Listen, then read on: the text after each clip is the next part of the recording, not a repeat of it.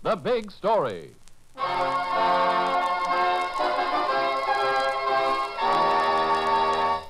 It was Sunday morning along U.S. Highway 66, heading west from Tulsa toward Clinton, Oklahoma. Mrs. Rose Penn and her son were driving to church. Jim. Jim, stop the car.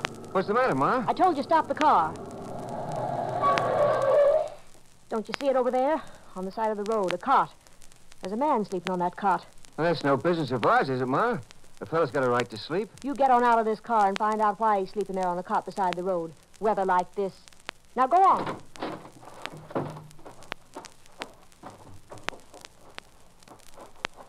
Well? Well, what are you standing there for? Is he all right? Is he sleeping? He's sleeping, Ma. He's sleeping, but he ain't never going to wake up.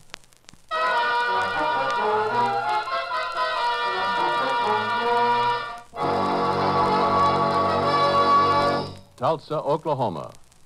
The story of a reporter who found three golden coins that spelled death.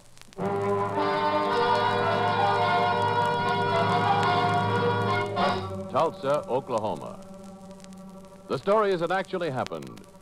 Reporter Nolan Bullock's story, as he lived it.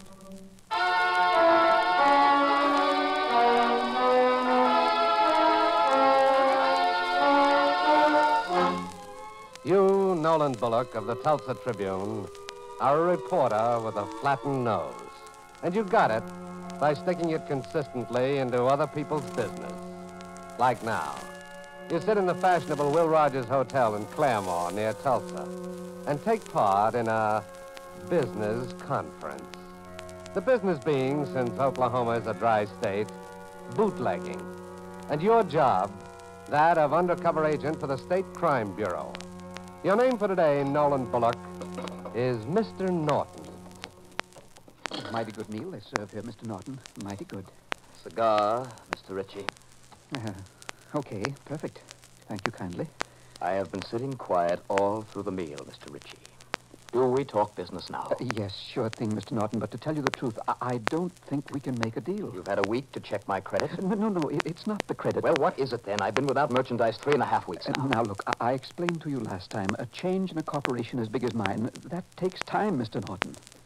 When Mr. Vesey was alive, the man in charge before Mr. Breeden, I told him, you've got to prepare for eventualities like this, but he didn't listen to me. Nobody listens to an accountant. Look, all I know is that I've got to have 21 cases of stock Not delivered. so loud, please, Mr. Norton. And I need two dozen barrels weekly, regularly. Now, when am I going to get a definite answer? You know, there are other firms to deal with. Oh, now you wouldn't want to do that, Mr. Norton. When Mr. Breeden comes in and takes over, that's the man you'll want to deal with, and the only one in this state. I worked for Mr. Breeden years ago, and I tell you frankly, I'm looking forward to his return.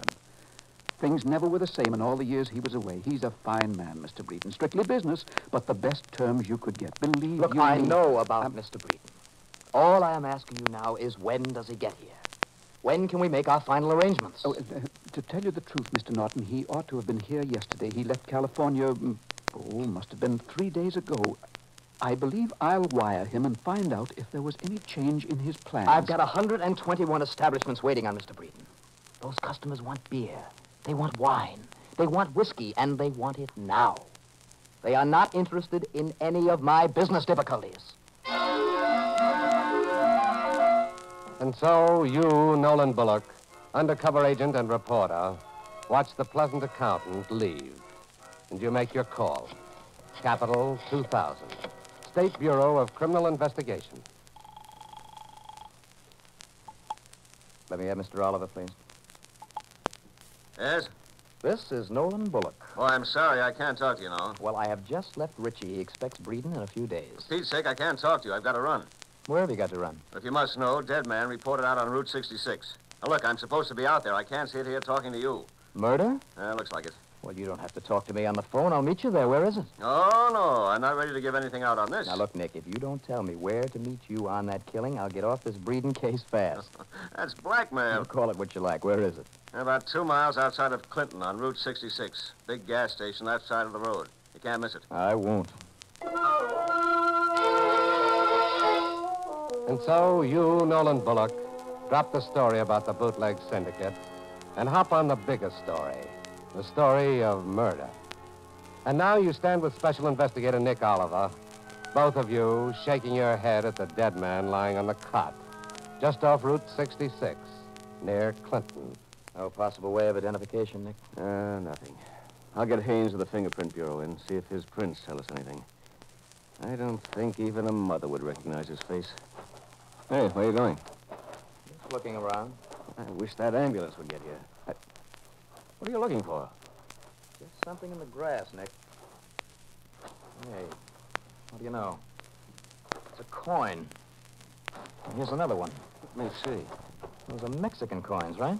That's what they are. Well, what are they doing here? How do I know? Well, we've got something anyhow. It's not much more than nothing, but it's something. Huh, finally, the ambulance.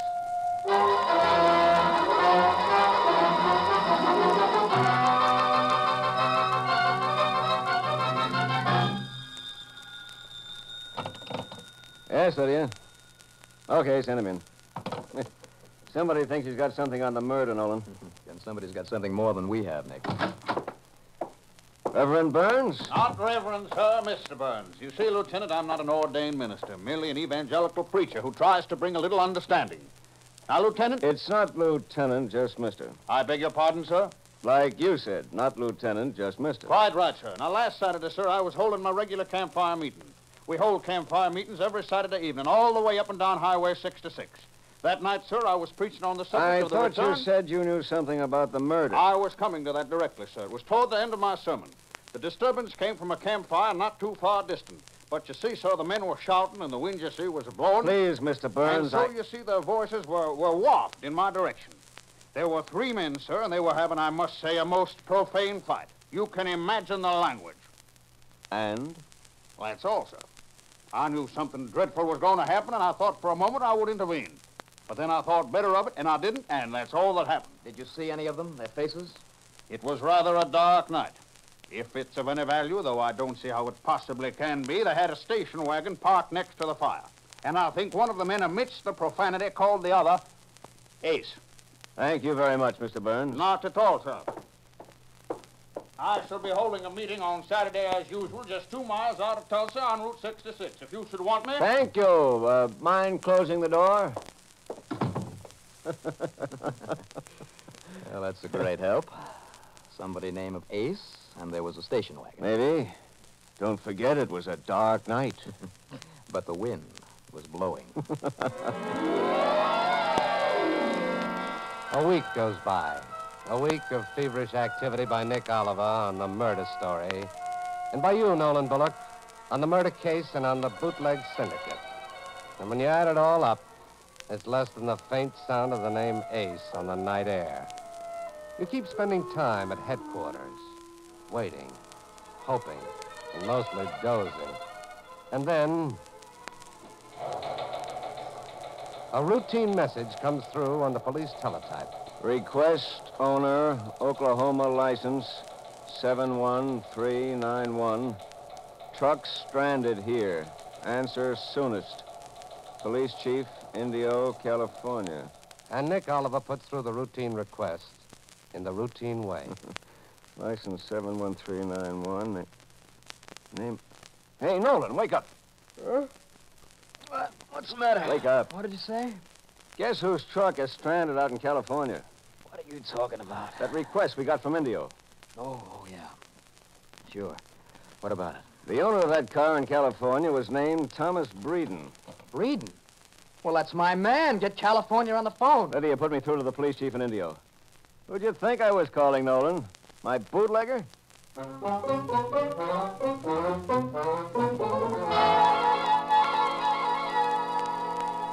Yes, that's right, Chief. Fellow's name was Thomas Breeden. And we're interested in him, too. Uh, tell me everything you've got. Oh, you jailed him. Mm. That's why he didn't meet me. In the coop in California. Uh-huh. El Paso, huh? What do you know? What about El Paso? Hey, Nick, what about El Paso? You check with the FBI, huh? Uh, fine, fine. What is this FBI, El Paso?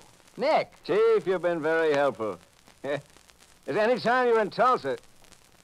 Yes, Chief, I'll do that. Say, how's the weather out there? Nick! 92 degrees, huh? Well, you don't say. We got blizzard weather here. Hey, so long, Chief. Well, do you want me to strangle you? It uh, seems your friend Tom Breeden was picked up about a week ago by the police chief in Indio. Uh, he was driving a truck, went through a red light, and hit somebody. Wasn't serious. They put him in the coop for five days, took his prints and all that. Chief said he acted like a man going to be sentenced to the chair. Nervous. Yeah, so he checked on him in Washington. Oh, I don't know. There was some delay, I guess, on the chief's end in checking the prints with Washington. And he didn't get the answer on Breeden until after he was let out. Look, Nick, get to the point. Okay.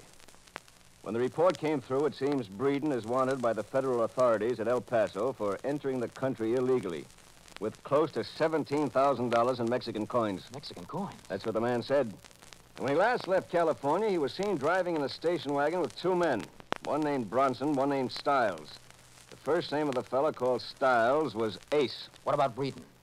Well, you see, Nolan, the reason you never met Breeden is because his prints are the same as those of the man we saw on the cut off US 66.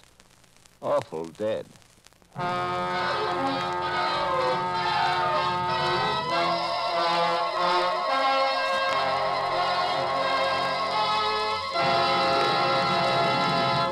What started out for you, Nolan Bullock, reporter for the Tulsa Tribune, as an undercover job as a bootlegger, is now a murder story involving the FBI, two indistinct figures named Ace Stiles and somebody Bronson, and $17,000 in Mexican coins.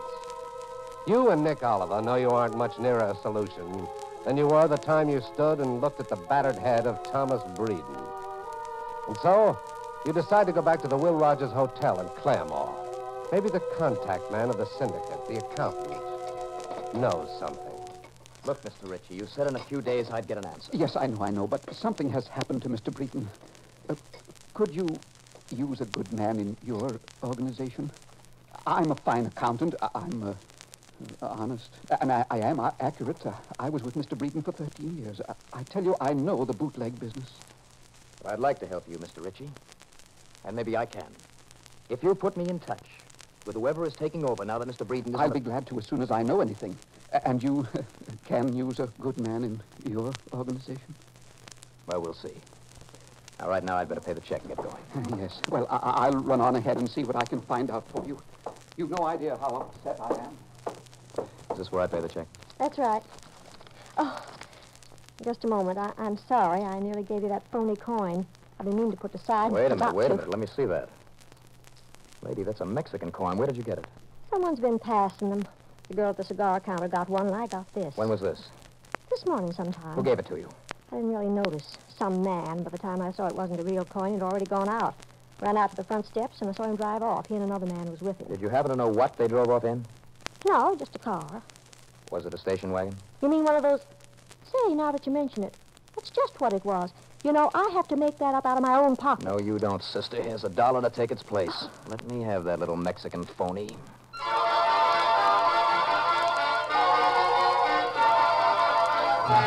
Nick, guess what happened? Come on, if you've got something, give. Remember that Mexican who showed up? Those three Mexicans? The blondes? Mm-hmm. The Golden Blondes. Well, I found a friend of theirs at the cashier's in the restaurant in the Will Rogers Hotel. Meet you there in an hour. Make it half an hour. 907 is my room, Nick.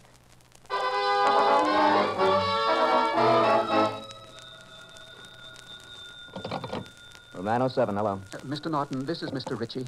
I've got something you'll find very exciting. You can meet the new boss. How? You know the road off US 66? Yes? Well, go past the gas station at Ember Street. It's a little dirt road, a little left off 66, a left turn. You, you can't miss it. It runs down third, through the Verdigris Valley. There's a big white house, uh, green shutters. That's two and a half miles down the road. All right, thanks, Ritchie. Now, please don't say I told you to go there, Mr. Norton. Uh, The boss might not like it. His name is Bronson. Okay, Rich. And I won't forget. When I get a set up, I'll find a place in it for you. Oh, thank you, Mr. Norton. Thank you very much.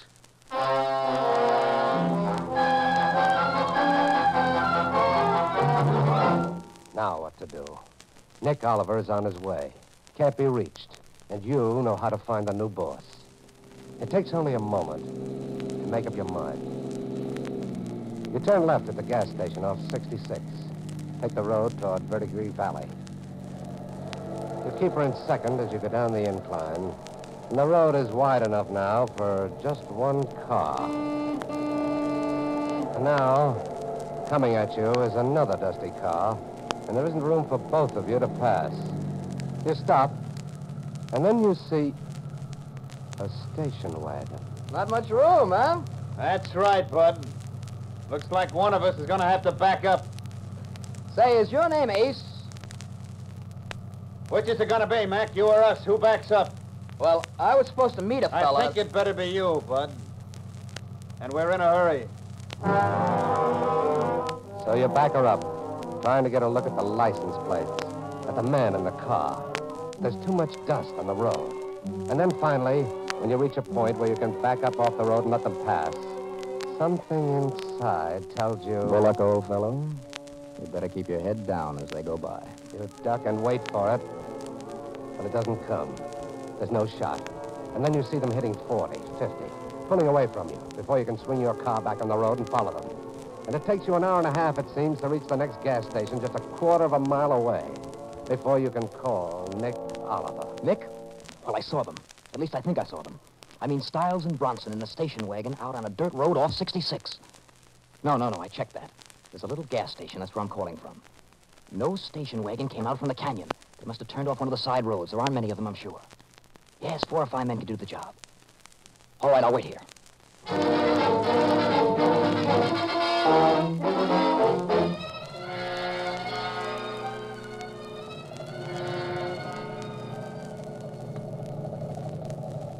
Shut it off, Nick. Over there. You see it? That's the wagon. Very convenient. Nice place for a headquarters. A house in the valley and the car. Only let's go slow.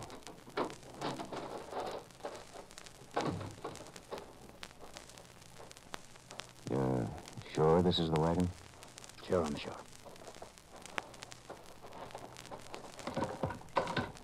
Well, let's see what's in it. Hey, Huh? put your light over here. What have you got? There's a gash in the back seat. It's a big bulge, you see it? Yes, I see it. Mexican blondes. Quite a bunch of them. Very nice. Look at this. What do you think this is? Here? Right here. Is it rust? My guess is blood. And this. It's a wrench. Might be what they did it with. It's heavy enough, and it's got the same kind of rust on it. Well, let's take them. Not so fast, Nolan. Suppose they say they never met your friend Breeden. Know nothing about him. We need proof. Just what do you have in mind? You know those guys pretty well, know their business lingo, the way they operate. Can't you think of some way of going in there, doing a little fast talking? Well, if I do, it's not a bad story. No. Not bad at all. Good luck.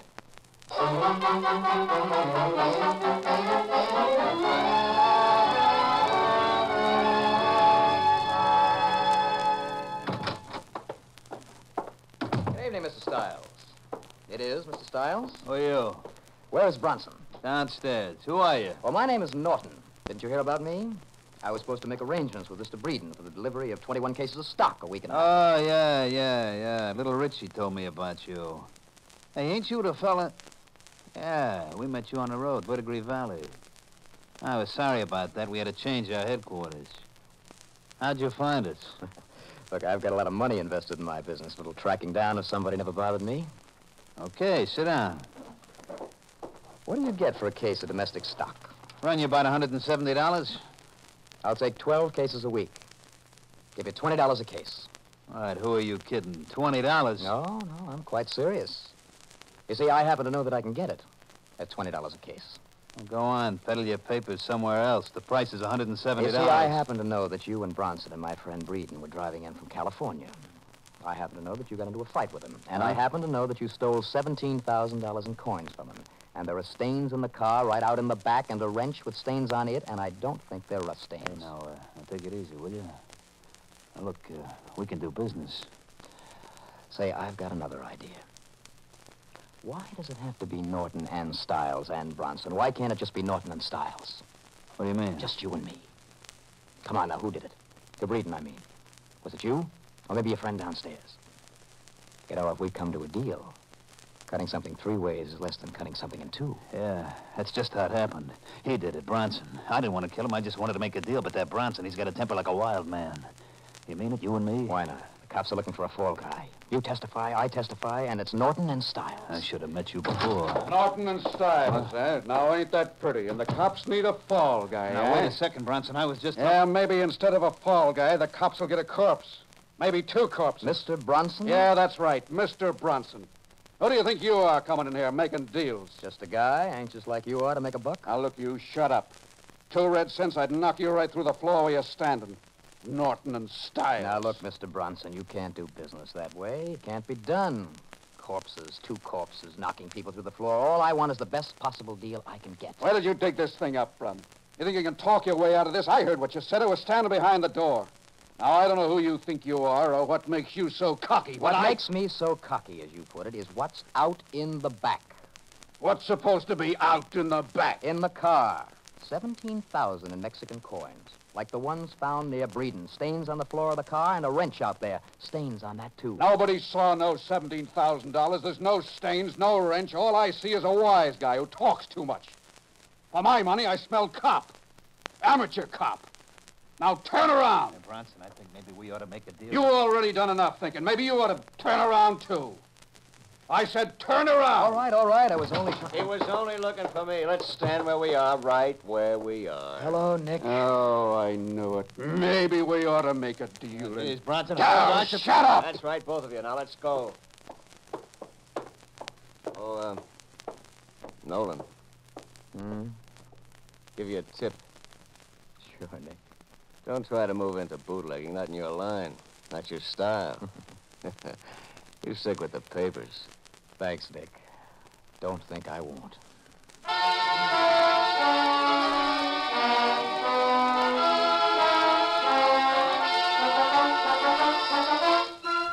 Now we read you that telegram from Nolan Bullock of the Tulsa, Oklahoma Tribune. Both men in tonight's big story pleaded guilty to second degree manslaughter.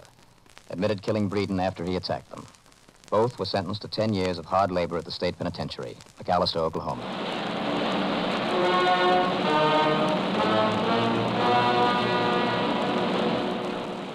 And so ends another big story. In order to protect the names of people actually involved in tonight's authentic big story, the names of all characters in the dramatization were changed, with the exception of the newspaper reporter.